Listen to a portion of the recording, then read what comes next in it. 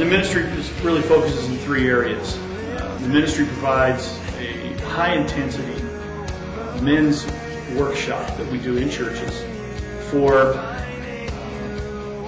building awareness and equipping men to have victory in this area of their lives.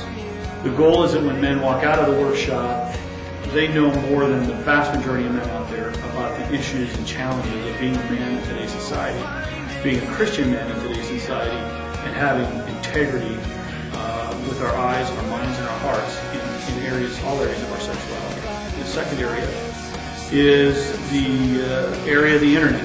We know how prolific the internet is in our lives in society today, and it has changed virtually every aspect of how we live.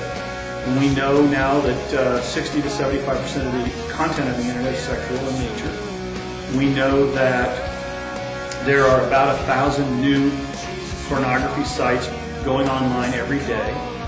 We know that addiction is occurring at faster rates with higher numbers of people than we've ever thought possible. Um, and now we know that about 50% of Christian men are either struggling with a compulsive behavior in, in this area or they're addicted.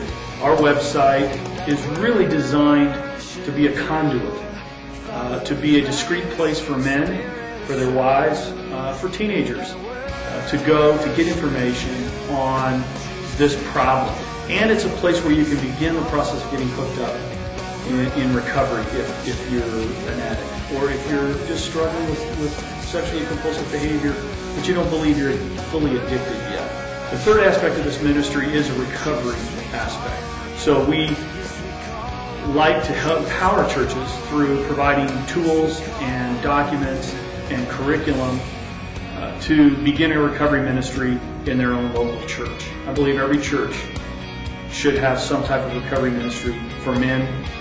So one of our goals is as we do workshops in churches to provide that church with the resources, the tools, and some of the fundamentals of training for any lay leaders or pastors who want to begin recovery.